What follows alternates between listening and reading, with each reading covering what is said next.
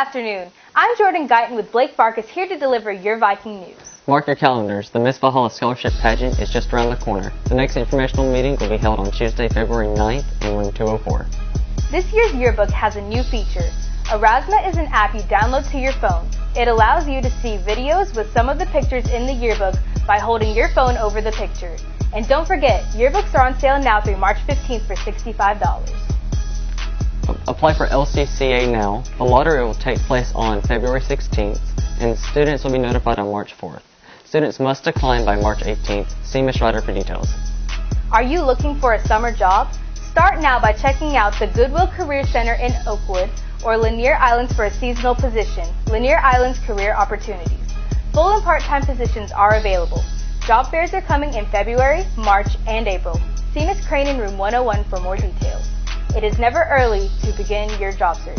Be proactive. Relay for Life t-shirts can be ordered through Monday, February 29th in room 129. Short sleeve shirts are $15 and long sleeve shirts are $20. You must pay when ordering. Complete your FAFSA and HOPE Scholarship grant applications. See Ms. Comiskey for more details. And now to club news. I'm Ashley Evans here with Casey Abernathy to deliver your Viking Club news. Thank you, Jordan and Blake, for that amazing update. If you are in student council and want to be a true Viking, become the mascot of one of the upcoming games. See Ms. Tharp for more details. Also, student council meets every second and fourth Wednesday of the month in the cafeteria, unless otherwise told. The academic team will practice every Tuesday until 4.30 in Epic 2. Come join the fun. What team? Wildcats! What team? Wildcats! Get your head in the game. This year's spring musical is High School Musical Junior. It's school-wide open auditions. Come to the theater for more information. And the Viking players are putting on Junie B. Jones, the musical, in March. Come see your Viking players. And don't forget that March 1st is the next important date for the Miss Valhalla pageant. $100 is due and there will be information available in room 204. If you are interested in participating in the East Hall Viking Chess Tournament, then please sign up for Mr. Prest in room 209 by February 25th. Registration is open to anyone and you do not have to be in chess club to participate.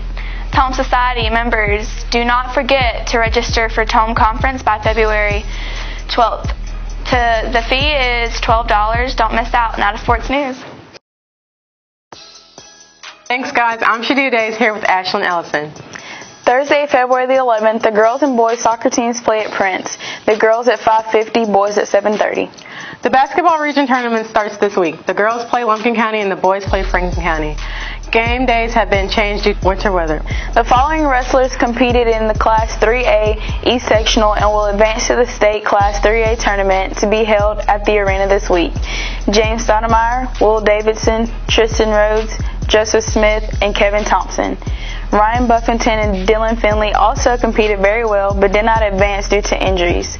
The varsity wrestlers will be will be hitting the mats this Friday, February the 12th at 8 a.m.